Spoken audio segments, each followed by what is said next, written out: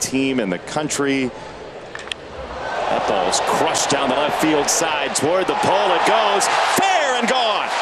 Ringing back in as Fairchild hits a buzzsaw. Well, I think Blake Snell set them up for the aggravation of coming out and getting your home run shoes on. The Reds are really coming out, driving the baseball.